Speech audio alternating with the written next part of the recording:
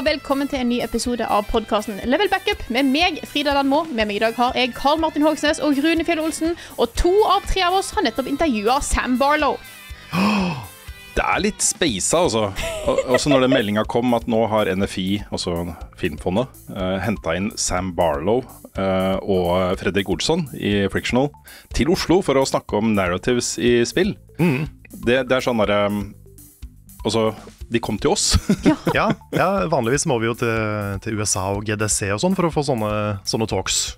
ja, og da får vi sannsynligvis bare snakke med PR-representanten deres også i tillegg. Ja. Så dette her er jo også særlig Sam Barlow. Altså, vi er jo ganske, ganske store fans av, av han, Carl. For han har jo, Det er jo han som står bl.a. eh, bak Immortality. Det er det. Mm. Og Her Story og Telling Lies. Og også noen eldre Silent Hill-spill, sånn som eh, Hva er det det heter? Silent Hill Shattered Memories. Shattered Memories. Stemmer. Altså, bakgrunnen for dette her er jo at eh, NFI har et sånt kompetansehevingsprogram, hvor målet er jo å um, inspirere norske spillutviklere til å bli flinkere og lære og sånne ting. Eh, og det er en direkte kobling også til disse to, for Fredrik eh, Olsson er med i NFIs ekspertpanel. Også de som er med og vurderer da, de som søker om støtte. hvor, hvor de henter da inn profesjonelle som eh, kan vurdere disse spillene og eh, og anslå da, om de burde få støtte eller ikke og sånne ting. Mens eh, Sam Barlow er mentor for en som heter Ellen Lyse Einarsen i Hypergames. Hun er, jeg tror hun er head of production. Og så er også hun som er ansvarlig for dette cross-stitch-spillet som de jobber med. Ja. Uh, og det var litt sånn fun fact. Nå er, det her er litt sånn derre eh, eh, Slå på mitt eget bryst og blåse i min egen tropett. Er det det? Går det an å si det? Det går sikkert an å si det. Ja, for Hun fortalte meg etterpå at eh, For jeg hadde jo Immortality på andreplass på min topp 10-liste for eh, spillåret 2022, Mm. rett bak Elden Ring. Eh, hun fortalte meg at det, etter at hun så det, så søkte hun opp hvem han var, og begynte å spille spillene hans, og derfor valgte hun han som mentor. Hey. Okay. Så det var litt morsomt. Det er min, det er min, det er min skyld at Sam Barlow var i Oslo. Det er bra du kan ta du- æren for det. Ja, du, du planta et frø i 2022, og så kan du høste Ja. det nå, ikke sant? Yes. Men vi har jo gjort et langt intervju med han. Eh, Det skulle være 20 minutter, det ble vel 30-40 i hvert fall. Ja, det var Eh. veldig fascinerende å bare se hvordan det intervjuet spilte seg. Fordi det var ikke så mange spørsmål vi rakk å stille, eller du rakk å stille. Fordi han bare prata så mye, og han hadde så mye interessant å komme med. Og Mhm. vi hadde litt begrensa med tid og sånn, men vi hadde ikke lyst til å stoppe den, fordi alt han sa var så kult. altså det var, det, når, mens han prata, så hadde jeg jo Det kom, poppa inn oppfølgingsspørsmål hele tiden, som han da umiddelbart svarte på. Ja. Uten at eh, jeg prompta noe på det, liksom. Han har sikkert blitt intervjua før. Ja, jeg vil tro det. Han, han er veldig glad i å snakke om disse tingene også, tror jeg. Ja, nei, da kan jeg tro. Det er, jeg er trist for at jeg ikke fikk være der. Jeg er jo en av tre da som ikke fikk være med på denne, Mm. Eh, foredraget og intervjuet. Jeg eh, sånn er det å være i jobb en annen plass i landet. Men han Mm. andre dere snakker med, Fredrik Olsson, er jo for dere som ikke, for dere som ikke vet det, jeg eh, kjente ikke navnet hans før dere nevnte det, eh, som har skrevet da Amnesia-serien, eh, The Dark Descent og, og Rebirth. Og Det er helt riktig! Det er ikke helt riktig. Ikke? Han, han er ansvarlig for Bunker. Det er det første spillet han var game director for. Eh, han kom inn som game director sånn et år inn i utviklingen av um, Rebirth. Uh, før det så har han jobbet med masse andre ting også, da. Men Ja, um, shit, jeg er på feil Wikipedia-side. Jeg er på hele Frictional Games. nettopp. Ja, Nei, det er uh, Amnesia og, og Zuma, da. Mm. Mm. Så han, eh, så han eh, har jo stått bak eh, ting som er good shit, han også. Ja, ja, absolutt, absolutt. Eh, og han har vi også intervjua, det kommer også ut på kanalen. Og begge, begge deler da blir eh, videoer på, på kanalen vår. Jeg syns jo det er veldig ålreit at NFI gjør disse tingene her. Det er, eh, det er ikke så mye sånne ting som skjer i Norge, og at de tar det ansvaret da, for å få interessante folk hit. Og ikke minst at du får lov til å snakke med dem uh, uten filter og sånne ting. Og så kan jeg nevne, da, vi spurte jo til slutt i intervjuet med uh, Sam Barlow, uh, for han har jo to nye spill på vei. Det ene er et fullt 3D-spill som han snakker mer om, på en måte konseptuelt. Ikke konkret innhold, men man sier det er en cool mechanic som er umiddelbart coolt liksom, for alle da, i dette spillet, og ett nytt sånn FMV-spill. Så de har to spill i, i utvikling nå. Så spurte han da, når vi får vite mer om dette.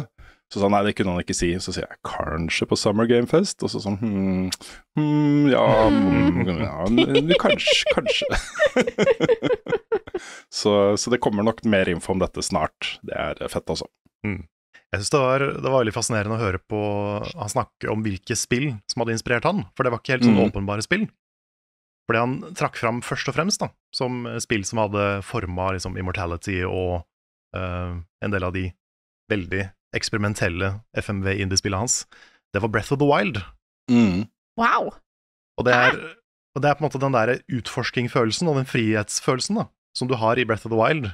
Hadde han lyst til å prøve å overføre til et spill hvor du ikke kunne fysisk bevege deg, og ikke kunne på en måte utforske fysisk. da. Ja. Mm. Prøvde å gjenskape den samme følelsen i liksom Uten å kunne lene seg på det. Og det var, det var kult å høre om. Det høres veldig søkt ut, men når du, når du tenker deg litt om, da, særlig med- også med både alle de tre FMV-spillene hans, så er det sånn at du velger jo selv da, hvilken retning du skal gå i. Eh, og det er kanskje spesielt sterkt i, i Immortality, hvor eh, du, du har denne cross, eh, crosscut, er det det heter? Matchcut. Matchcut. Ikke sant? Hvor du bare fokuserer på ild, da, og du gjør det til en egen sånn sidequest som du utforsker på egen hånd. Så vet du at kanskje det er et annet klipp der borte som du eh, som spillet har fortalt deg, at det er viktig, liksom. Men du velger den paten selv, da. Jeg syns det en god, eh, et godt bilde på hvordan han ser for seg hvordan folk skal utforske disse historiene.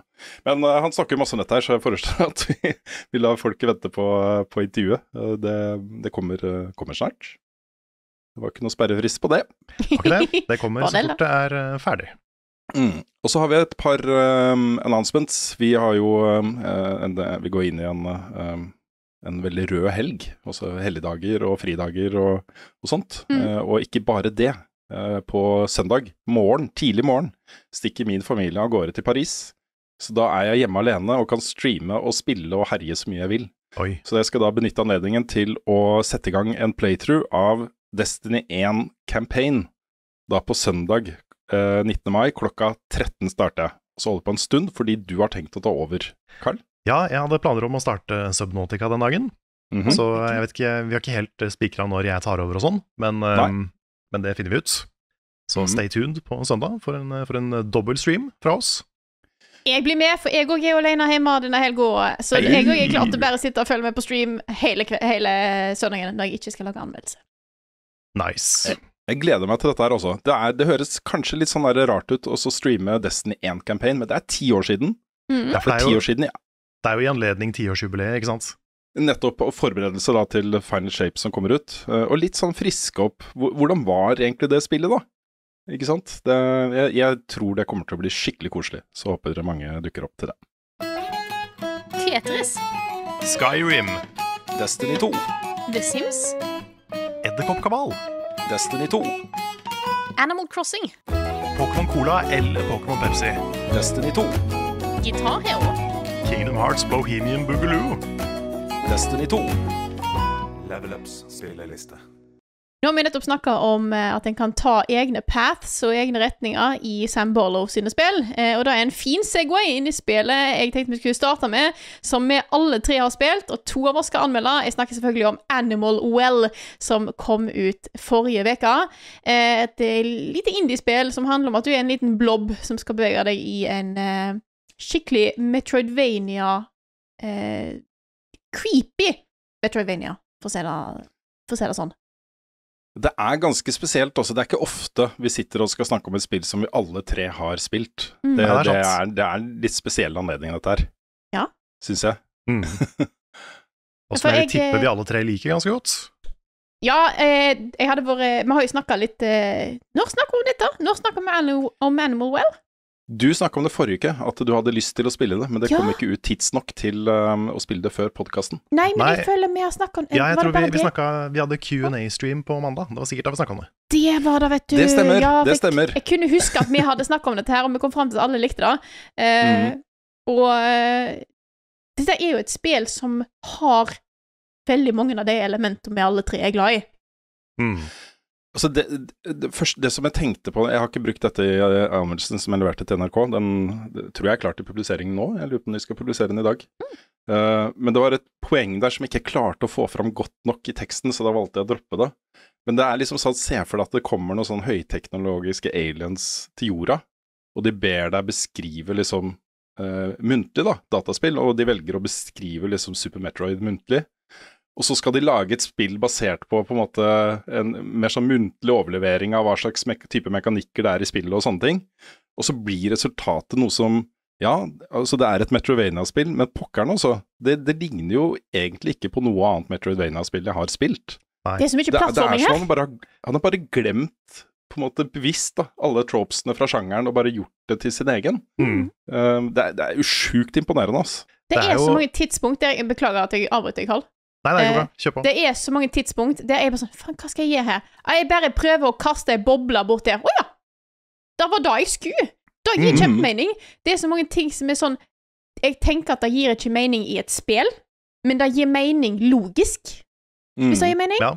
Ja, for det feirer eksperimentering og, og spillerens um, uh, Dette ble det også snakka om på det narrative-seminaret.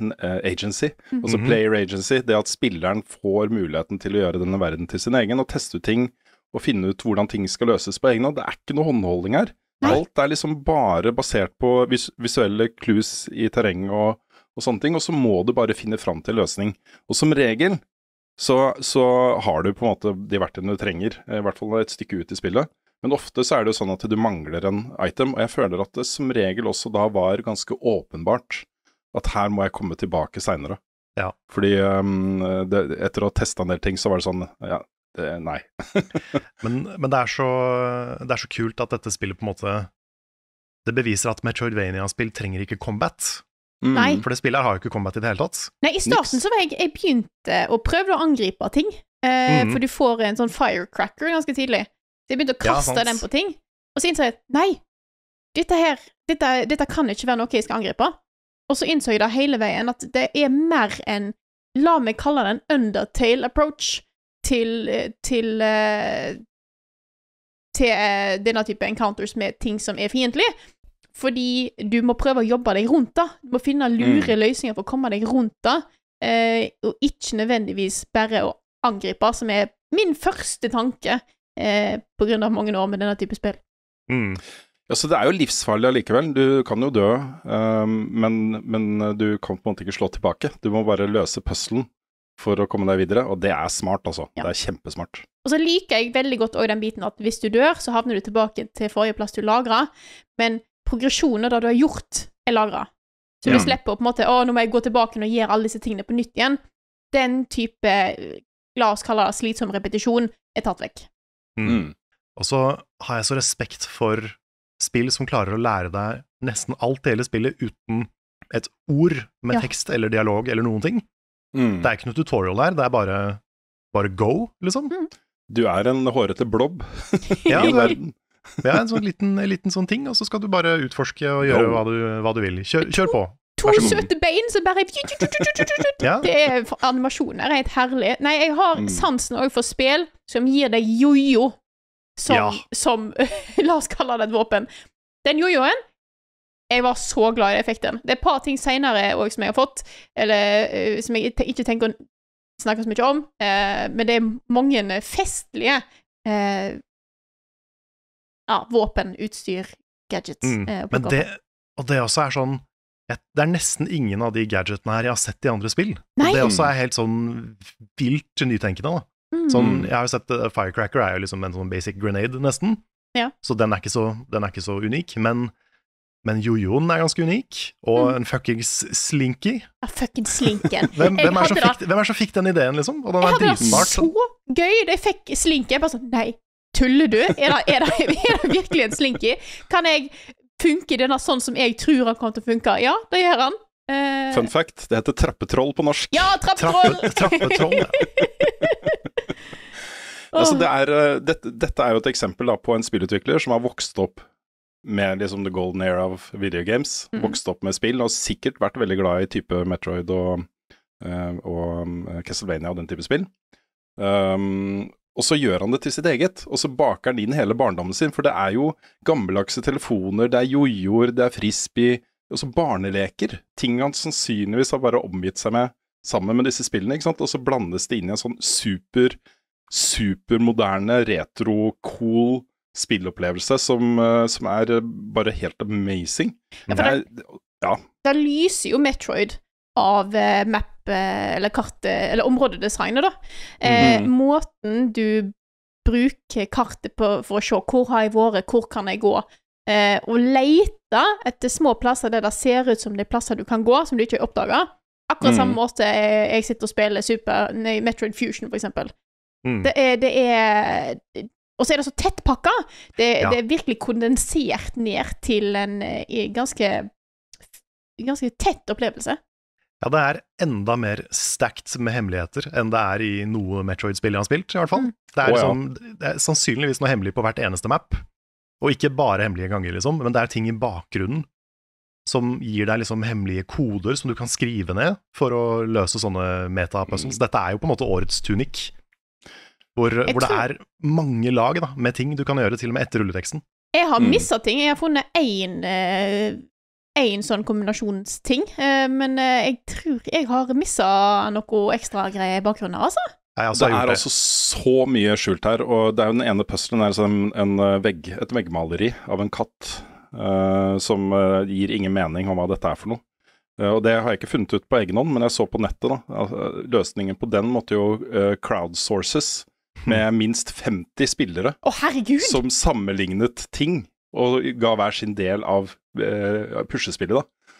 For å finne ut hvordan du skulle løse det, ikke sant. Og utvikleren har jo også sagt, Billy Basso har jo også sagt at det er ting skjult i dette spillet her som man ikke forventer spillerne vil finne på mange år. Og det er eh, Det blir jo sånn da, når du har på en måte runda spillet og fått alle items du trenger og, og sånt, så får du muligheten til å få noen nye items med de nye Altså de du, greiene du får helt på slutten, og så kan du kjøre en ny runde, ikke sant. Mm. Og utforske hele kartet med eh, et fullt repertoar av items du trenger for å komme deg rundt omkring. Uh, og den der gjenspillgleden i det spillet her er helt absurd, altså. altså. Dette er et sånn type spill som kan rundes på en halvtime. Jeg har sett folk drive og speedrunne det uh, på en halvtime. Uh, jeg brukte mye mer enn deg, Carl, på å komme gjennom første gang. Ja, jeg òg er oppe i ganske Jeg er i flere timer enn da du brukte, Carl. Eh, Mm. jeg. Men sånn fem-seks timer er en sånn standard, har jeg sett da på How Long To Beat, så Ja. står det seks Mm. timer. At hvis du bare spiller det i vanlig tempo og gjør de tingene som go with the flow, liksom, så ca. seks timer. Jeg brukte en god del mer enn det. Eh, Men jeg er oppe i over 15 timer nå i spillet. Eh, Bare ja. med å kose meg rundt og utforske og leite etter ting, liksom. Det er super nice. Og så vil jeg òg eh, nevne at jeg syns atmosfæren i dette spillet er så god. For det er en liten sånn grad av uhygge eh, i det du Mm. går rundt. Eh, selv om Animal Well og indiespill om dyr kan høres koselig ut, så er det litt creepy.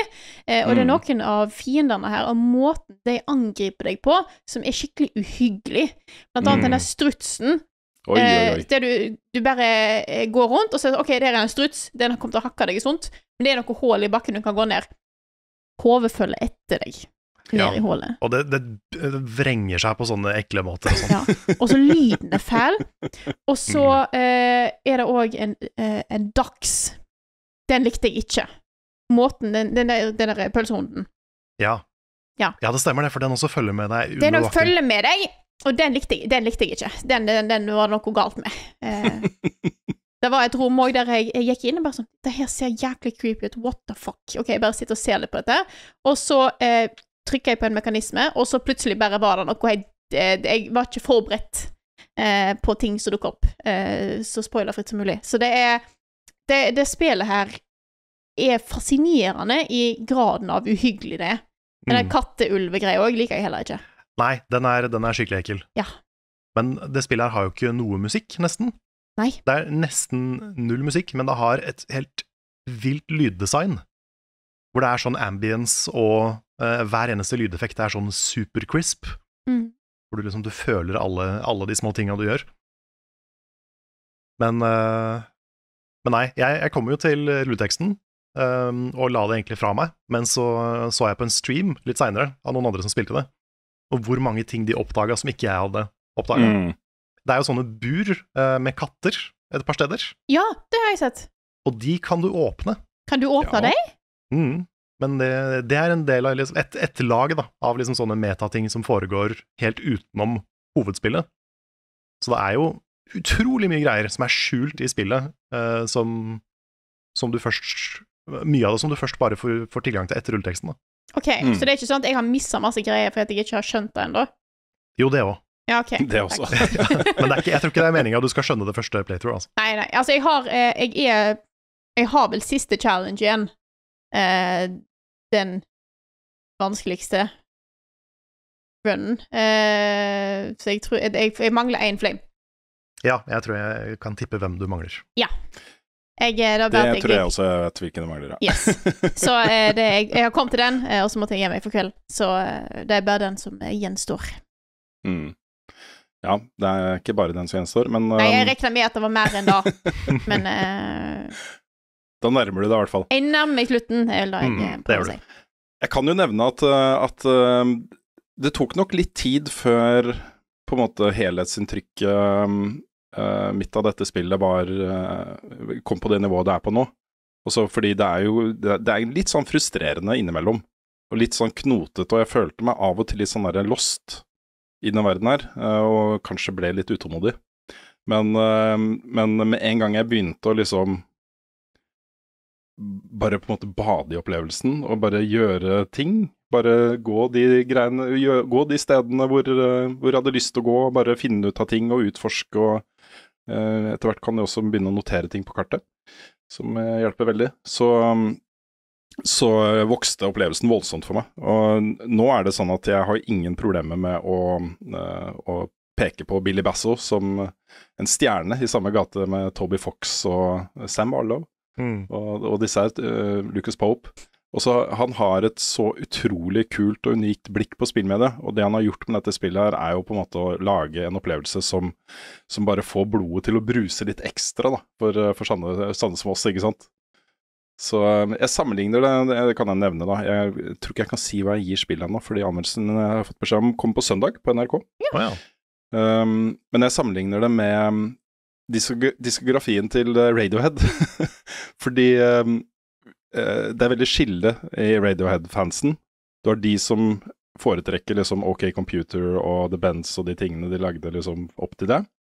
Eh, men etter det så begynte de å bli mye mer eksperimentelle og eh, sære og eh, um, smale, da. Eh, og noen er jo soleklart liksom det er det de mener er Radiohead, og er klart best. da, At det er der den beste kvaliteten er.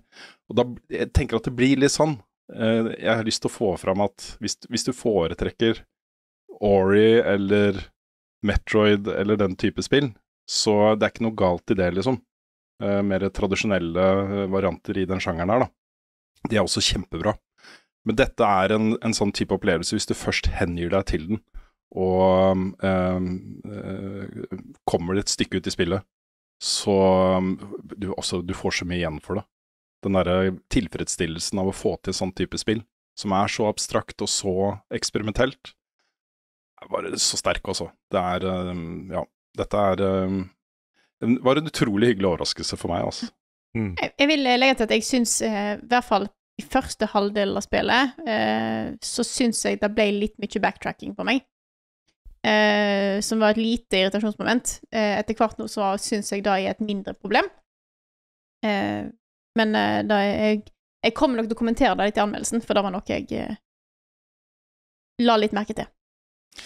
Ja, jeg har jo funnet ut uh, seinere, da, at uh, den backtracken som jeg også opplevde mye, at det ble mye fram og tilbake og tester ut der og nei, der Ja. kommer jeg ikke videre, og så tester du nei, der kommer jeg ennå ikke videre, og så å ja, det her kan jeg gå, ikke sant. Mm, mm. Uh, men um, spillet er bygd opp egentlig sånn at du skal kunne gjøre deg ferdig med liksom en, et område av kartet som er en flamme, og så gå videre til et nytt område av kartet som er en flamme, videre. Det er mulig. Ja, Det er bare litt komplisert å forestille seg at det faktisk er mulig. Og det å finne alle de hemmelige gangene og sånne ting for å gjøre det, er ikke åpenbar. Så, um, Nei, så et da... tips kan kanskje bare være å Ok, hvis du er på vei Du ser en flamme på kartet der, liksom. Hvis du er på vei dit, um, bare bruk litt ekstra tid på å se om du kan liksom komme deg helt fram. Mm. Det kan nok kanskje hjelpe. ja det for er jeg sånn- følte ikke at jeg helt fikk det til å gå opp. Uh, Mm. Og det er, det er kanskje da et lite sånn trekk til at det er litt for lite guiding på den måten. Uh, for en ting er at ja, det er mulig, men jeg følte eh, Jeg var i et område og så at ok, det er en flamme, jeg skal sikkert her, men nå føler jeg ikke at jeg kommer videre. Jeg går tilbake og tester en annen plass. Og så kom jeg et stykke eh, der, eh, men så følte jeg at jeg var litt stuck der. Det var et eller annet jeg mangla. Eh, men jeg visste at det var en flamme der, men da gikk jeg tilbake igjen, så jeg endte opp med å nesten gjøre alt, bortsett fra å ta de siste delene til flammene. Eh, liksom bare da rett etter hverandre. Mm. Eh. Men jeg, jeg også spilte det litt sånn. Mm. Det plaga meg ikke så mye, da, fordi jeg følte etter hvert at jeg ble ganske godt kjent med mappet. Mm. Ja, Og det, Det det var på en måte en del av spillet for meg, da. Å Mm. og, og lære liksom hvor ting var, og minne meg sjøl på liksom nå kan jeg gjøre det, nå kan jeg gjøre det, men jeg mangler noe Mhm. til den. Jeg tror nok kan det, hadde vært lettere for meg hvis jeg litt tidligere skjønte at jeg kunne markere ting på kartet. Ja, det hjelper. Ja, da, da hjalp en del, da, altså. Så jeg, jeg, jeg skal ikke legge all skylda på spillet. Uh, det, det er jo òg litt den biten når Når du ikke blir forklart noe, så må du sjøl òg være obs på og være litt oppmerksom på hva som er der av ting. Uh, men jeg syns likevel det ble litt mye Litt mer surring, surring enn jeg hadde håp på, og kanskje er vant med i den type spill. Uh, men jeg syns ikke lenger utover i spillet at det egentlig var et, eh, er et stort problem, og det er ikke noe jeg tenker mer på nå. Mm. Mm. Men jeg, eh, det, er, det, er det er en eh, Det er litt virring. Det da. Ja. Men så er det også litt sånn at hvis du sliter veldig med et område, så kan du komme tilbake seinere med flere verktøy for å gjøre det mye lettere. Mm. Sånn som uh, det er en eh, boble i spillet, som for meg Soppeboble. En, so en soppeboble, Ja. som for meg åpna spillet veldig. Mm. For den kan du, eh, kan du mikse og trikse ganske mye med. Um, den gir deg liksom i praksis et dobbelthopp. Mm -hmm. uh, og så har du andre verktøy som du kan bruke på, på måter som kanskje ikke er helt åpenbart med en gang. Mm. Det er, eh, og det er alltid veldig, veldig kult å oppdage det. Det er sånn der Å, shit, jeg kan gjøre sånn! Og den funker sånn! Så um, det, er, det er veldig mye som er vanskelig, som kan gjøres mye lettere. Mm. Ja. Nei, eh, det har blitt en av de store utgivelsene i år eh, for meg, dette her. Sånn virkelig. Mm. Så eh, det er gøy, altså. Ja. Jeg, eh, jeg skal jo ikke anmelde det, så jeg kan jo si hva jeg ville gitt det. Mhm. Hadde nok endt opp på en sterk nier, tror jeg. Det så, jeg syns det er så bra. Mm. Og det, mm, det eneste jeg trekker for, er liksom noen områder som jeg syns var litt frustrerende. Det ene er den, den ulven som ser ut som en katt. Ja. Uh, den sleit jeg med å bli litt sånn frustrert av, fordi det var en sånn veldig lang path jeg måtte gjennom. Det var Um, Ja, det, det Jeg syns den biten, på det punktet at jeg lurte på om det var et eller annet jeg ikke hadde funnet, Mm. en snarvei jeg ikke hadde funnet du kan cheese den delen, men det føles også litt som en cheese. Ja. Det føles ikke som liksom den, den riktige måten å gjøre det på, da. sånn som veldig mye annet i spillet gjør. Hvor du liksom 'Å ja, det var mye lettere, og det var meninga at jeg skulle gjøre det sånn', men den måten du kan cheese den ulven på, det er Det, fø det føles litt juks, på en måte. Og da har jeg lyst til å gjøre det ordentlig. Nei, så det er, det er Jeg liker veldig godt at spillet gir en solid utfordring. Eh, jeg syns til tider så er det litt vanskelig å skjønne Mangler jeg en ting, eller er det bare jeg som ikke har klart det å hoppe rett? Eh, som regel er det jeg som ikke har klart å hoppe rett. Eh, det er en vanskelig knivsegg å være på. Eh, jeg er, akkurat nå så er jeg mellom en åtte og en ni, eh, men jeg er ikke overraska hvis jeg ender opp med en nier til slutt, når jeg er ferdig. Så spoilers for anmeldelsen! Ho, ho, jo, jo. Ja, min anmeldelse, eller min score, får dere vite på søndag, da. Eller neste uke i podkasten, kan jeg jeg nevner det da, altså. Ja, Min kommer nok òg til neste, neste uke, vil jeg tro. Da skal skal jeg Mm. rekke å få den klar. Ja, nei, det er mye annet på vei uh, her nå, så eh, det er bare å få det unna. Så Ja, ja. vi får med oss eh, alt det andre kullet som kommer de neste ukene. Det tetter seg til litt uh, nå, altså. Det gjør det. Og det, det, var, det var også ganske deilig da, å laste ned et spill som også var gratis hvis du hadde PlayStation pluss Er det pre, ikke premium, men um, Den midterste tieren, tror jeg. ja, den midterste. Ja. Um, og bare laste det ned, og så, og så spille til rulleteksten i én sitting. Mm. Og det var mange timer, så jeg burde nok tatt litt pauser, men jeg gjorde ikke det. men uh, men det, var, det var sånn derre åh, dette kan jeg presse inn på en kveld, liksom. Mm. Og det var en skikkelig good time. Men kan jeg ta opp et uh, spill til? Ja. Fordi jeg har jo da, eh, etter å ha snakka om eh, slutten på Yakuza 7 i, eh, i forrige episode, har jeg nå plukka opp Yakuza 8, eller Like a Dragon Infinite Wealth, som det heter. Ah. Nå er jeg i gang med det. Og jeg må bare gi en skikkelig shout-out til starten på det spillet. hovedpersonen er jo akkurat som i 7, det er Ichiban Kasuga, som er verdens, uh, verdens beste, snilleste gangster. Han er så han er så ålreit. Og han, eh, i starten av spillet så går jo alt så bra, ikke sant. Han, er liksom, han har fått seg ordentlig jobb, og livet smiler, og han skal på date, og liksom alt er bare helt flott. Og uh, han har et ansiktsuttrykk når du åpner menyen, som jeg må sende dere. Jeg viste vist det til Trune i går, men uh, Mm. som er liksom, så Hver gang du åpner menyen, så blir du møtt med det trynet der. Og jeg syns det bare er det perfekte ansiktet. Det, dette er veldig dårlig radio, men um, ja. Eh, men det er liksom bare det, det, ster det, det mest intense smilet du kan se for deg, er liksom Ishiban. Nå går det bra. Ja. Og så uh, er det jo Det er jo et spill, så det går jo ikke bra for alltid. Og jeg sitter jo mens i den perioden her og bare jeg blir mer og mer stressa, fordi det går for bra. Nå kommer alt til å rase sammen, ikke sant? Alt kommer til å gå gærent, og jeg bare venter på det øyeblikket. Men så går det bra ganske lenge, og så skjer det all den daten som han skal på. Og før den daten så har han to, eh, to kompiser som gir han råd da, på hvordan han skal oppføre seg på den daten. Og de, de har hver sin de er to stykker, og de har hver sin versjon av dårlige råd. Oh, ja. Så han, han ene er sånn der Nei, du må være helt chill, du må ikke bry deg i det hele tatt. Mm. Du må bare tenke at liksom Dette er ikke viktig for meg i det hele tatt, du må bare være helt lugn. Og for avslappa, liksom. Ja. Mens han andre er sånn nei, nei, du må gå, bare f f kjøre på. Ta på deg den mest skinnende dressen i verden, og bare framstå som the ultimate guy, liksom. Mm. Så de, de har hver sin versjon av ganske dårlig råd, og overfladiske råd, til han. Så må du velge hvem av de du skal høre mest på. Da. Mm. Uh, og så kommer da den daten, og så går det litt bra og litt dårlig, og litt sånn om hverandre. Og så etterpå så setter han seg på en eh, fastfood-sjappe og snakker med de om hvordan daten gikk. Og da er de de viseste, smarteste menneskene i hele verden. og kommer med liksom bare sånn skikkelig emosjonelt intelligent tilbakemelding om nei, du skulle ikke sagt det, da, fordi da kanskje, du, kanskje hun tenker at du ser på eh, at du ser på kvinner som en sånn sånn der sjåvinist. Altså sånn, da er de veldig plutselig veldig smarte, og veldig eh, sånn in hindsight så hadde de Da visste de nøyaktig hvordan man skulle oppføre seg på date. Mm. Det var en utrolig morsom start på, på spillet.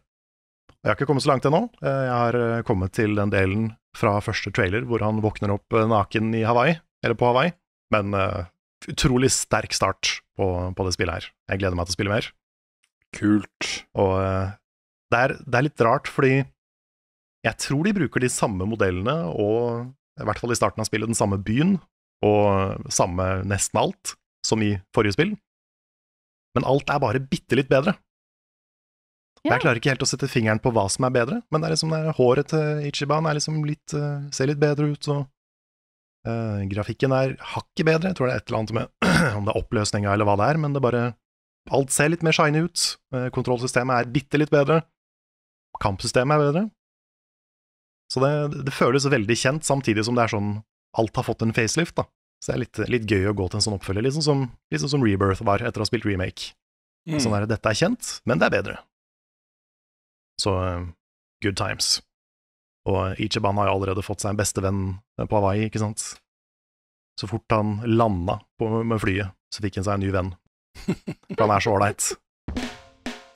Har dere prøvd vann fra springen? Jeg har sett en ny TV-serie nå, vet du. Dette albumet må dere høre. TV-spill er ganske stas. Det er en serie som foregår in space. YouTube.com er en kul nettside. Level Ups anbefaling. Nå ser jeg Carl komme inn, og han har med seg et brett, og på det brettet er det en anbefaling. Det er det. Ja. Jeg åpner esken, og inni Ja. den esken så er det et brett lagd av gull. Oi! Og på det gullbrettet så står det rissa inn hva jeg har anbefalt. Det er synd okay. at ikke dere har video på denne podkasten, for da har Ja, dere sett det flotte gullbrettet mitt. Men eh, nei, jeg har jo da, eh, litt, eh, litt som jeg ofte har, en YouTube-anbefaling. Og dette er eh, en ganske tidkrevende ting, så jeg har, eh, jeg har brukt det litt som en sånn podkast, eller sånn bakgrunn mens jeg har gjort andre ting, eh, greie, i de siste, de siste ukene. Mhm. Og det er en eh, lang eh, retrospective serie på YouTube fra kanalen Billiam om TV-serien Lost. Oi! Og jeg var blodfan av Lost da det gikk. Og det er, så mye, det er så mye sånn snakk om at Lost var bra i noen, sekunder, nei, i noen sesonger, og så ble det dårlig, og så datt mange av og sånn. Men dette er sånn skikkelig, et skikkelig dypdykk, da.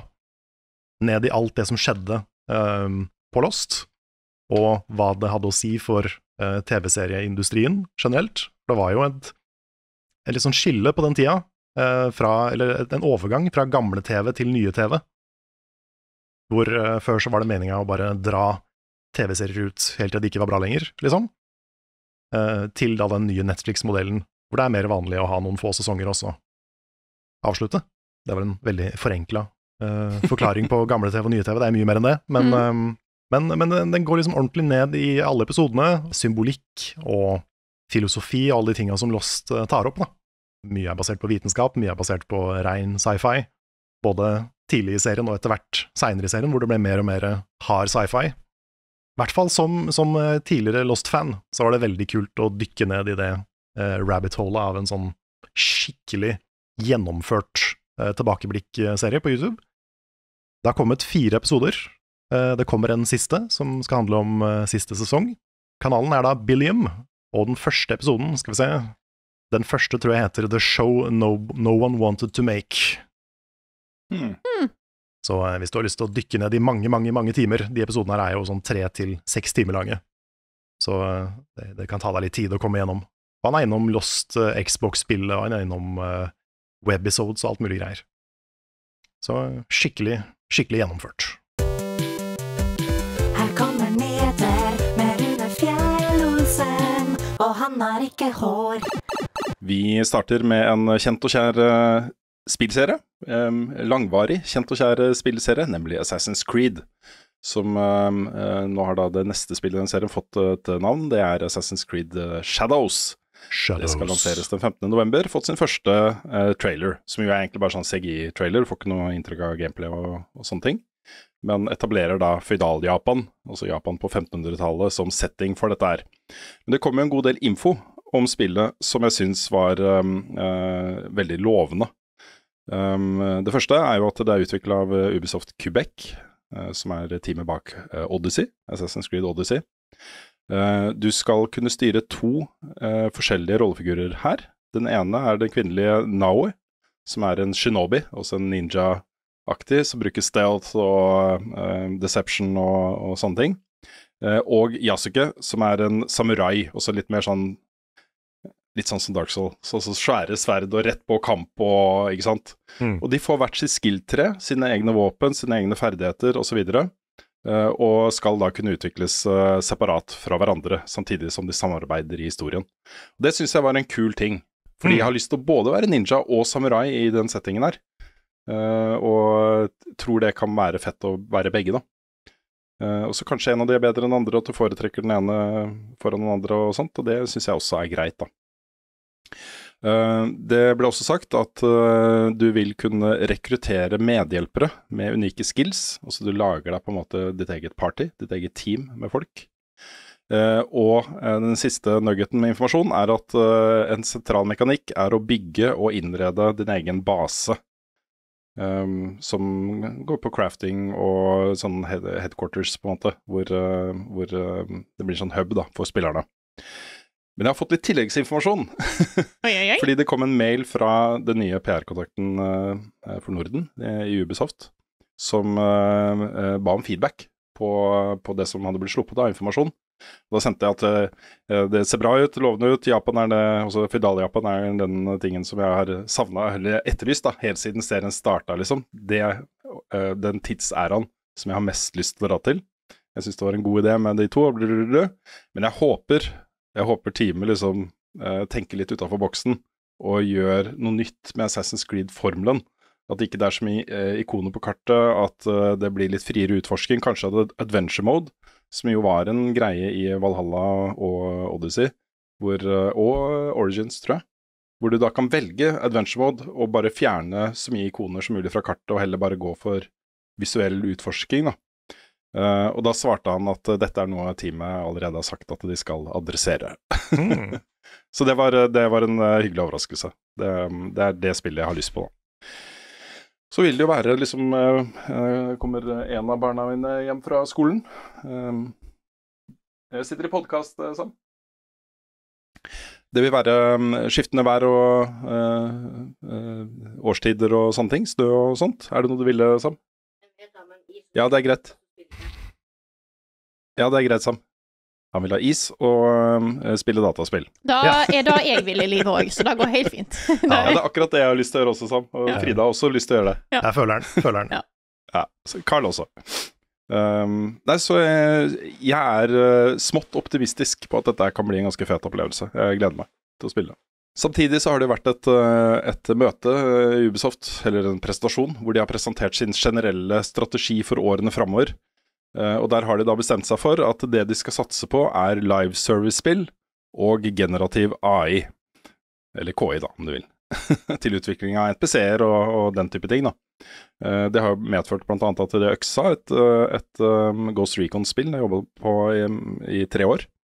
Um, og isteden skal det fokusere på liksom uh, uh, Rainbow Six og Assassin's Creed og de greiene der. Eh, Skull and Bones ble heller ikke nevnt som en eh, fremtidig satsingsområde for Ubisoft. Så jeg er jo litt spent da på hva det betyr for, eh, for Assassin's Creed Shadows også. Hva betyr det at eh, det vil ha generativ AI og masse Season Pass-greier? Jeg, Mm. jeg vet ikke. Det blir Blir spennende å ikke, se. blir ikke veldig optimistisk når jeg hører det, jeg innrømme. Nei, men, jeg blir jo ikke da. Jeg Det er jo den der knivseggen som kunstig intelligens balanserer på nå, ikke sant? Nytte for menneskeheten. Uh, um, gjøre det mulig å fokusere mer på liksom eh, skaperglede og den type ting. Gjøre unna en del av busy work og, og sånt.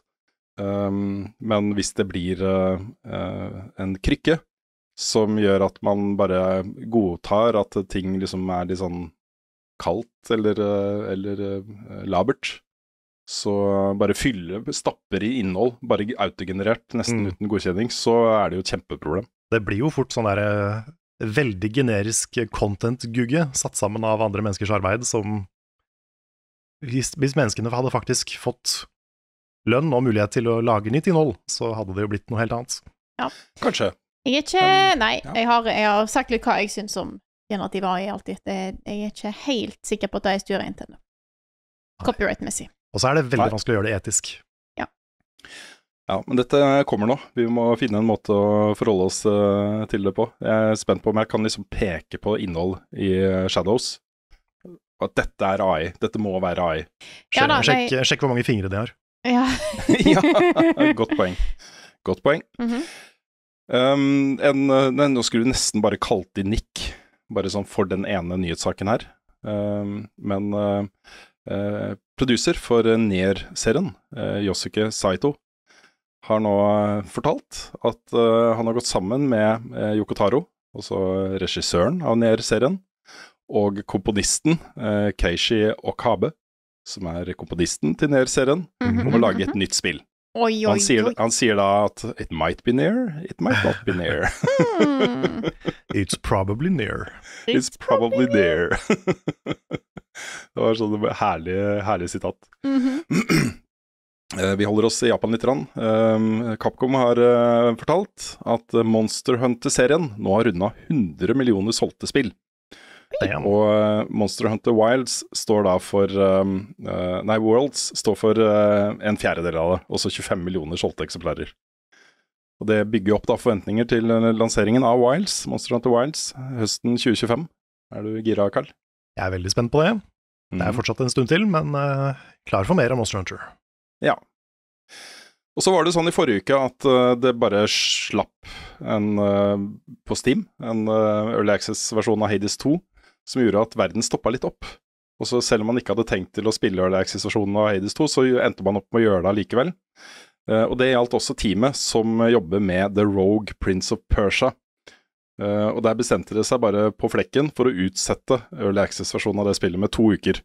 Eh, der ble det jo sagt fra teamet også at de satte seg ned for å spille Hades 2 uh, i det øyeblikket det kom ut. Så det er litt den derre Elden Ring-greia om at Final Fantasy 16 flytta på eh, tilgang til eh, nye delscener et par uker, ikke sant. Men eh, her er vi i indie-verden, ikke sant. Eh, hvor eh, er sikkert mye av det samme publikummet, vil jeg tro, som kunne vært interessert i begge deler. Så det skal nå lanseres da eh, 27. mai, og dette er jo fra utviklerne av uh, Dead Cells, Uh, en rogelike, Uh, Prince of Persia-opplevelse i 2D. Eh, jeg syns det ser kjempebra ut. Forhåpentligvis ikke så mye AI i det spillet. Vi får se. Nei, jeg tror, jeg tror ikke det. Tror ikke det. Mm. Eh, en litt morsom eh, nyhet som kanskje ikke er så stor, men som er stor for meg. Maraton, så det originale skytespillet til Bungie fra eh, tidlig 90-tall, er nå gratis tilgjengelig på Steam.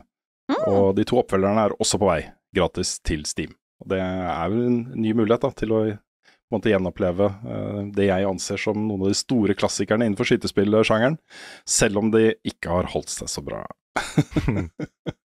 så uh, der har verden gått litt videre også. Men, uh, men jeg gleder meg til Durandal, altså Maraton 2. Eh, det har jeg prøvd å gi mange sjanser opp igjennom, men eh, når det kommer da i en oppussa versjon som fungerer på Steam, så blir det lettere for meg å sette meg ned og mimre tilbake, da, og se om uh, hvor godt det har holdt seg. For det var, det husker jeg som en helt amazing opplevelse da jeg satt og spilte det uh, på 90-tallet. Og så har uh, kontroversene rundt Helldivers 2 begynt å legge seg litt. Rann. Sony gikk jo tilbake på at du måtte ha en PSN-konto. Jeg tenker at alt annet hadde vært veldig rart. Eh, det, både pga. oppstandelse, men også fordi spillet var lansert, og det hadde et kjempepublikum. Og så skal du plutselig ekskludere sjukt mange land som ikke engang kan ha PlayStation Network-kontor.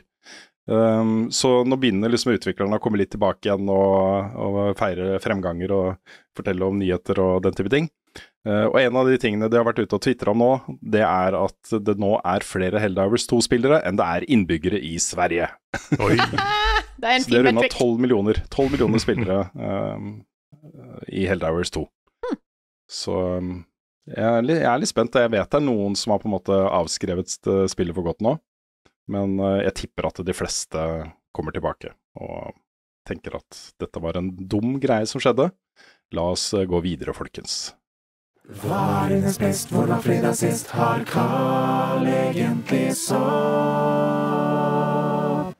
Ukens spørsmål. I dag starter vi med et spørsmål fra noen som kaller seg eh, F. Danmo eh, på Discord. som jeg eh, ser at spør et veldig timely spørsmål, siden det nå er 17. mai i morgen for oss. Eh, 17. mai for dere som hører på den dagen det kommer ut.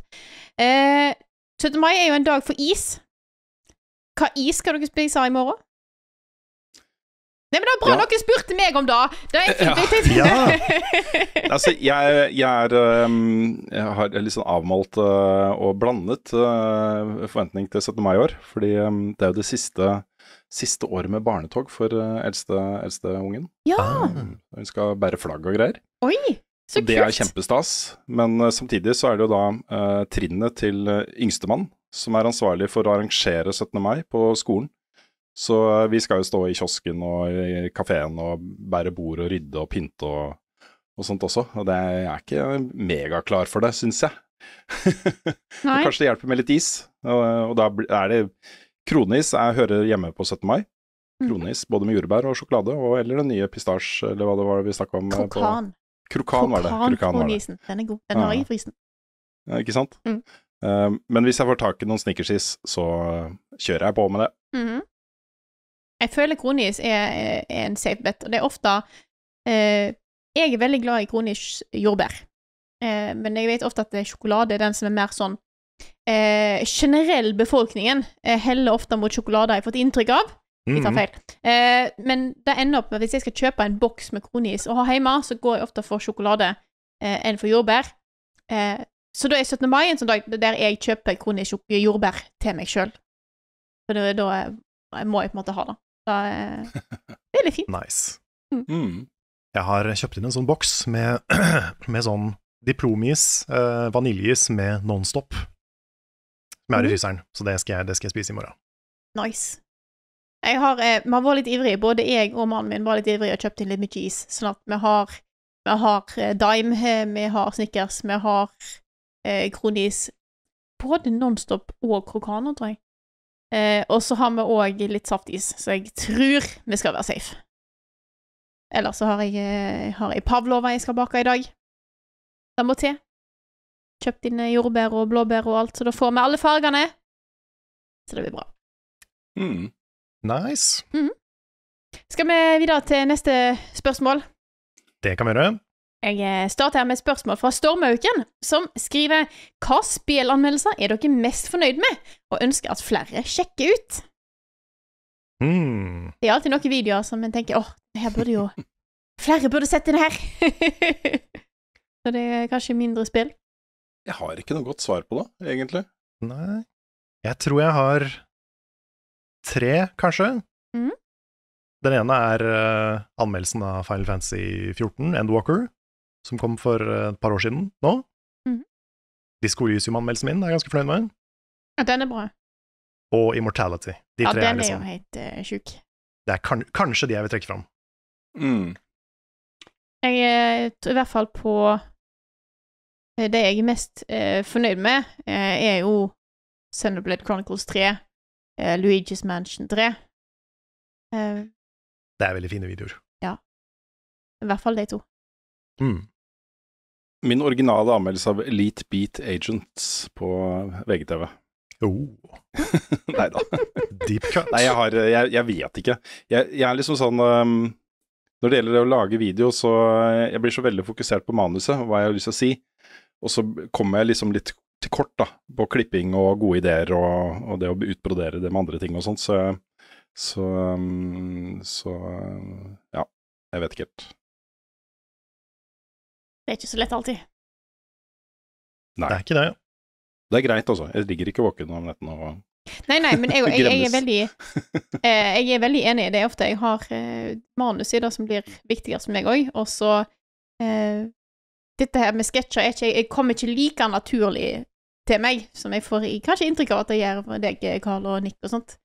Sånn Mm. at det, det er ikke alltid det er eh, Alt blir helt som jeg har, eh, har tenkt, men eh, av og til så klaffer det bra. Vi tar et eh, spørsmål til. Rune, har du et eh, liggende? Ja, jeg har lyst til å bare uh, ta dette her litt sånn kort. Det er fra Fredrik eh, SE på Patron, som eh, kom med et forslag som jeg, eh, er godt ment, men som jeg ikke eh, er så veldig enig i. um, men det er flere som har eh, stilt spørsmål i samme gate, så jeg tenkte det kan være greit å avklare litt hvordan vi tenker om disse tingene der. Og spørsmålet er da, hva med å sette deler av satsingen eller teamet på ren underholdning, og kanskje lettere inntekts, uh, inntjeningsområder? slik at det redaksjonelle blir finansiert via underholdningsbiten, og ikke at det som redaksjonelles inntjening går til underholdning, showbudsjettet. Uh, kanskje lettere å dra på arrangement og betalte oppdrag som level up humor, og så kan de generere inntekt for level up journalistikk. Og Da nærmer vi oss på en måte uh, content marketing og sånt. Og jeg vet det er, det er veldig mange etablerte medier som syns det er helt greit. VG har jo sin egen content marketing-avdeling. Filter, som jo er uh, hardcore journalister, har sin egen content marketing-del, uh, som er eh, sånn tett vegg mellom. Jeg eh, er ikke noe fan, altså, av å på en måte ha både en litt sånn eh, løssluppen, eh, mindre etisk, presseetisk del, og en veldig seriøs etisk, presseetisk del. Fordi eh, for det første er vi ganske få folk, og det å på en måte få den derre helt tette veggen mellom de to, eh, er sjukt vanskelig å få til. Eh, og for det andre så tror jeg ikke vi hadde klart å få det til med de ressursene eh, vi har. Eh, det, det, det ville ikke vært noe vits å gjøre det med mindre du og jeg, Carl og Nick og sånt, var involvert i det. Eh, og det er helt uaktuelt. Mm. det, det kommer jeg ikke til å gjøre. Jeg skjønner, liksom, jeg skjønner tankegangen, fordi vi, vi er jo en blanding av underholdning og journalistikk. Det har vi alltid vært. Mm. Men uh, det å adskille de på den måten, jeg tror ikke det er eh, Jeg tror vi hadde mista noe også av å gjøre det. Mm. Ja. Og så er det òg det, det som skiller oss litt ut på, er jo den blandingen. Uh, og selv om vi kanskje hadde fått, litt, fått flere seere på noe av det på YouTube, så er det på en måte det å få solgt innhold en annen plass som kanskje er der vi kan hente inn penger, da. Og da er det ikke sikkert at bare humorbiten er nok for oss. Nei. For Men vi har jo, dette var jo noe vi snakka ganske mye om i forbindelse med Level Up 4.0 og nye, strategi, nye strategier og nye. Vi er jo helt enig i at, eh, at mer humor hadde vært dritbra for oss på alle mulige måter. Så, så det vi eh, kommer til å gjøre, eh, men det må jo finansieres på et eller annet vis, da. Vi må finne ut hvordan vi skal kunne gjøre det uh, uten, eh, uten at vi bare gjør det. Mm. Og det, det er jo rett og slett å ha dedikert innhold som er mer i det segmentet. Ikke hele tiden kanskje, men i perioder, i bolker, som ja, vi, vi ser jo liksom, det er jo flere av de tiktokere jeg nå har lagt ut som bare er gøy, liksom. Som har gått veldig bra, da. Er flere visninger enn det vi har på YouTube og sånt. Så, så det er mer det å finne fram til et system hvor det går an å gjøre det mer, uten at det går utover uh, resten av produksjonen vår. Så, så det jobber vi med. Mm. Uh, men eh, jeg har ikke lyst på en egen avdeling som bare gjør det. Det hadde vi ikke fått til. Det er, vi setter veldig pris på at det er veldig mange som er engasjert og prøver å finne løsninger for oss, eh, Mm. bare så det er sagt. Men det er ikke, det, er- det er ikke alt som er eh, like lett for oss å innføre. Det er sant. Skal jeg ta et eh, spørsmål her, eh, jeg også? Gjerne. Mhm. Dette er fra Arklio. Eh, hvem var, eh, parentes er, deres første gaming crush? Jeg har forberedt meg litt i bakgrunnen her mens, Ja. mens vi har prata. Hvis, du, hvis du begynner, da. Jeg kan begynne, Ja. eh, for det var et spill på Sega Megadrive som jeg spilte da jeg var, jeg var sikkert ikke mer enn fem-seks år, eh, som het Talmits Adventure i Europa, uh, eller Marvel Land i USA. Og der spilte du som en sånn liten uh, anime-boy som skulle redde en prinsesse og redde masse sånne feer. Og når du redda de, så de, de var, sånn, var fanga i sånne kuler, og så knuste du kula, og så kom de ned, og så fikk hovedpersonen et kyss på kinnet. Og da jeg var fem-seks år, så var det sånn Holy shit, what is this feeling? Mm -hmm. Og det var nok første gang jeg liksom i et spill fikk en sånn Oi, jenter. Det er en ting. Så jeg har funnet fram et bilde til dere uh, av eh, min første gaming crush. Yes. Dette er The Fairy of the Rides, Uh, Flora, som jeg nettopp posta til dere to på eh, igjen dårlig radio. Ja, Men, se det, ja. Ja. Dette er altså Ja. ei sommerfuglejente En med chili på hodet. Ja, hun har chili på hodet, og veldig sånn søt, eh, sånn jordbærfarga uh, greie. Og det er en kis, ja. Ja, så der kan du til og med se at hun kysser hovedpersonen på kinnet. Eller en kis, Netflix og eh, chili. Mm. Jeg må faktisk innrømme at uh, jeg, har ikke, jeg hadde ingen sånne crushes i Ingen? spill. Noen eh, Ingen, liksom. Det var, det var, det var ikke derfor jeg spilte dataspill, og det, det påvirka meg ikke på den måten i det hele tatt, da. Er det litt vanskelig å bli liksom kjenne the crush dukke opp når du ser Pong? Jeg ser den. Ja, ja det, men den, den venstre brikka er ganske Ja, altså da, da, da liksom Lara Croft kom inn i bildet og sånn, så var jeg jo voksen. Eller voksen, jeg var i hvert fall Jeg var ikke 13, liksom. Mm. Så, um, så det også bare var en kul action helt inne, liksom. Men um, når det gjøres skikkelig, da, når man uh, har på en måte rollefigurer som du blir skikkelig, skikkelig engasjert i, og en sånn romancing option som uh, tar mye plass og er velskrevet og, og skikkelig god, så uh, lot jeg meg å rive litt med i Cyberpunk, da. Med Pan Am. Det må jeg innrømme. Det, var, det Mm. kunne jeg kjenne, kjenne var en, en relasjon, da. Eller så også en slags sånn tilknytning til en rollefigur som var mer enn bare 'dette er en kul rollefigur'. Men det følte jeg ting, liksom, Mm. for henne. Og det, det var en veldig, veldig kul opplevelse. Ja, for jeg, jeg tror nok ikke jeg har hatt noe sånn ordentlig sånn crush. Eh, men det er veldig mange Nå har jo de, har jo de fleste spill opp under tida hatt eh, mannlige hovedkarakterer. Eh, og da er det ofte òg at romance options òg har vært mot kvinner. mm. Eh, så det har kanskje ikke helt truffet meg på den måten, men jeg blir veldig engasjert i denne type spill, eh, og kan leve meg veldig inn i det. Og jeg har vel kanskje mange tilfeller av karakterer jeg syns var sånn Å, dette her er dritkule karakterer. Som jeg blir litt sånn gira uh, hype rundt, på en måte, fordi karakterene er så kule. Uh, men jeg vil ikke si at det har vært noe crush der. Som jeg kommer på, i hvert fall. Nei, Du var aldri liksom forelska i Link eller noe sånt? Nei, men jeg syns fortsatt det, det er noe på en måte I dag uh, Link liksom strekker seg ut og skal redde Selda i et eller annet, sant? så blir jeg helt sånn Å, nå skjer det, dette er dritkult, liksom. Å, herregud, Link er, er, er Han er så jæklig kul. Eh, men det har aldri vært en Det, det har ikke vært, nødvendigvis vært noe eh, crush der, vil jeg tro. Men det var fordi at jeg Når spilte jeg første Zelda-spillet mitt, da? Eh, det var jo Twilight Princess. Da var jeg òg relativt eh, ungdommelig av meg. Ikke altfor ung, der er på en måte sånne crushes dette kan havne skje. Men jeg tror jeg aldri har vært sånn på heller på liksom skuespillere og sånt, eller artister, sånn som jeg husker at en del eh, Eller noen i vennegjengen min da jeg var yngre, ble sånn Å, gud, han er jo så Han er jo så eh, Sexy, I don't know, hva sier jeg? Jeg vet ikke hva jeg, jeg skal si. Jeg har liksom aldri hatt noe sånt, tror jeg. Eh. Nam-nam. Nam-nam, ja. Nei, det har jeg ikke nødvendigvis gått rundt og tenkt. Nei. En hunky dish. Nei, jeg har hatt en del sånne. Ik Ja. Ikke, ikke så mange fra spill, men, ehm, men jeg var min store kjendiscrush uh, i ungdommen, var Alison Mack i Smallville. Mm. Uh, hun sitter jo i fengsel. ja, stemmer Ja, det! hun har Ja. Ja, Ja, det, fått det er noe greier der. ja, Ja. der var det mye greier. Hun joina en sånn der kult, du. Så det var stemmer. Ikke, ikke den beste versjonen Ikke den beste, beste personen å falle for, kanskje. Var det de som Mm. driver og branda folk? Ja, de branda folket med sånn jern. Det er helt riktig. Good! Ja, Yes. nei. Men det, dette spørsmålet har kommet opp før, og jeg, jeg, jeg, på et tidspunkt så tror jeg jeg må gå gjennom hva spillet jeg spilte da jeg var veldig ung, og prøve å finne ut om jeg hadde noen, noen ting som jeg hadde glemt der, altså. Ja, ja, for jeg var sånn da jeg var liten, så jeg forelska meg i alt og alle hele tida. Ja Mm. Jeg, jeg har sikkert masse. Kunne lage en tear-list. Jeg er så gammel ut at for meg Jeg er så gammel at for meg kunne det gå skikkelig gærent. Jeg kunne jo liksom ha sagt uh, hun, dama i General Custer, for eksempel. Oi. Ja, ja det, er en, eh, det spillet har ikke holdt seg. Ikke i det hele tatt.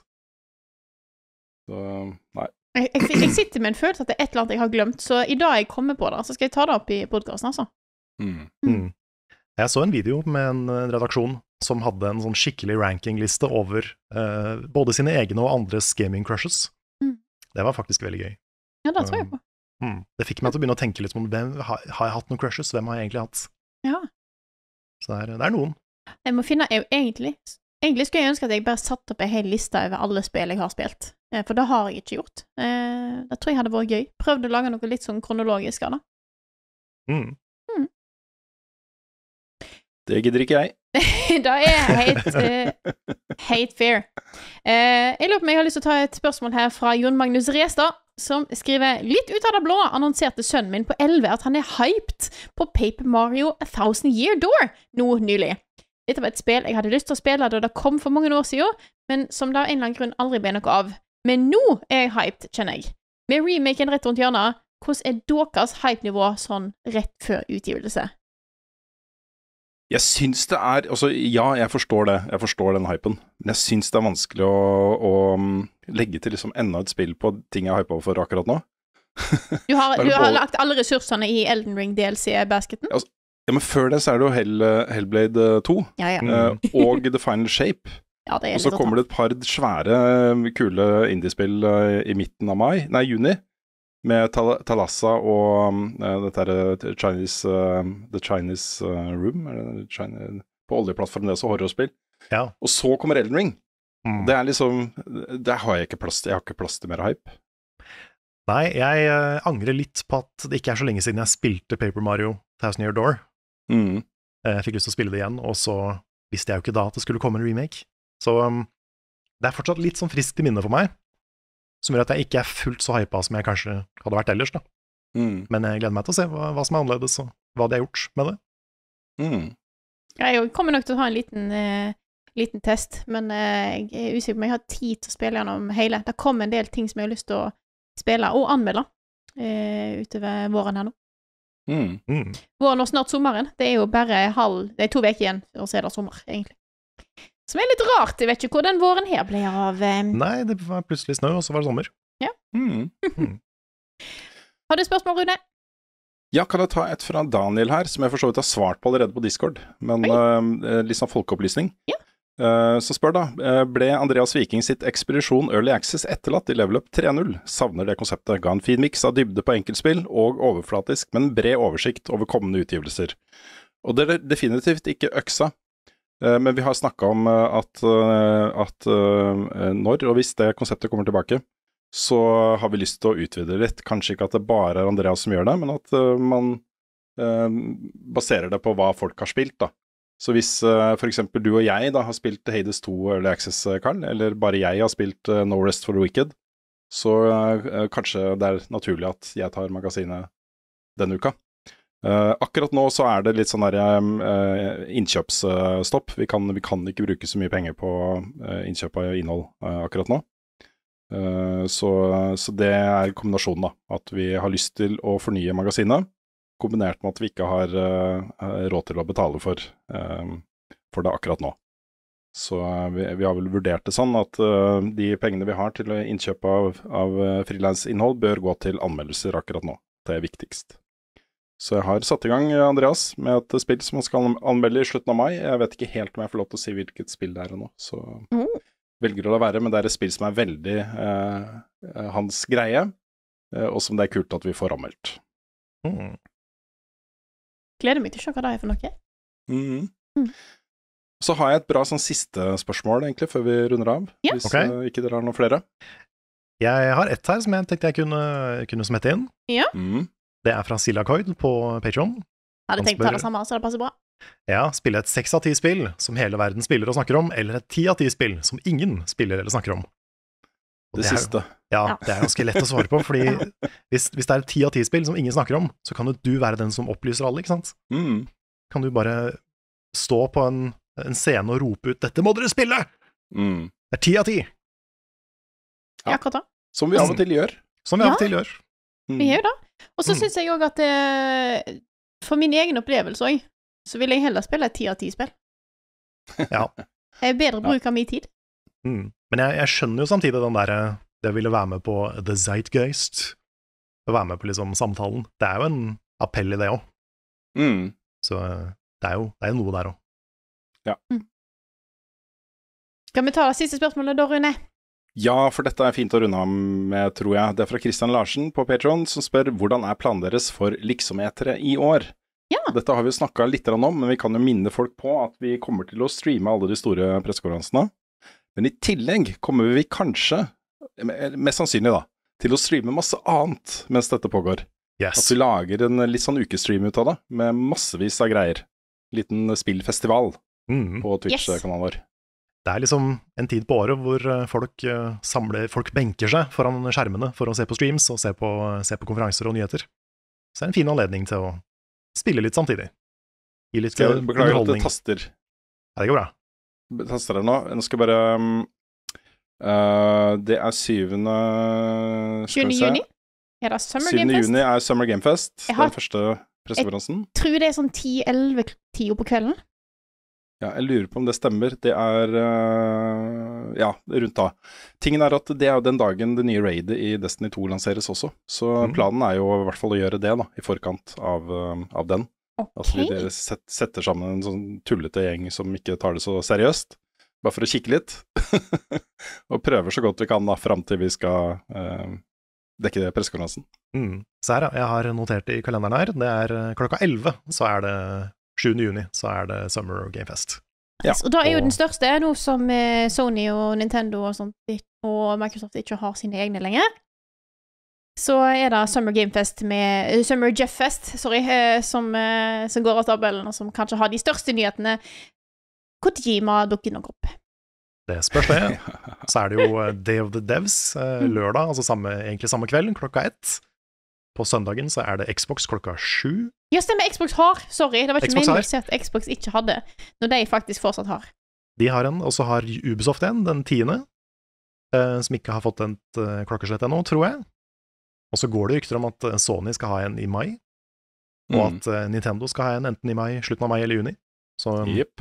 Det, kommer, det kommer mye greier nå, altså. Mm. Alt skal dekkes. Det skal det. I hvert fall de største. Da er en bra avslutning på podkasten, så da sier jeg eh, takk for nå. Dette her er podkasten Level Backup, utgitt av moderne media. Låten i introen og outroen er skrevet av Ole Sønnik Larsen og arrangert og framført av Kyoshu Orkestra. Og vignettene er lagd av fantastiske Martin Herfjord. Innholdet vårt da finner du på youtube.com slash levelupnord og twitch.tv slash levelupnord. Gå inn der og trykk på follow, så får du beskjed når Rune går live med Destiny 1-kampanjen på søndag. Sammen med jeg og Carl med Subnautica. Oh yeah. Bli med i communityet vårt på discord.gg slash levelupnorge. Eh, der får du òg varsel når vi går live, og når vi legger ut nye videoer. Eh, så da er det en ekstra måte å få med deg hva som skjer inne hos oss. Liker du det vi gjør, så er det bare å gå på patreon.com slash levelupnorge og støtte oss der. Og jeg har fått en melding her, ser jeg, at Patreon har problemer med PayPal igjen. Så ta oh, gjerne en kikk eh, innom og sjekk at eh, om ting er på plass. Eh, hvis du støtter oss, gå inn og sjekk at eh, du har blitt eh, trukket, eh, eller at kortet ditt er oppdatert og den type ting. Eh, for da får en sjelden varsel om, og det er litt eh, Du får ikke så god varsel. Ting kan forsvinne litt i en e-postinnboks iblant.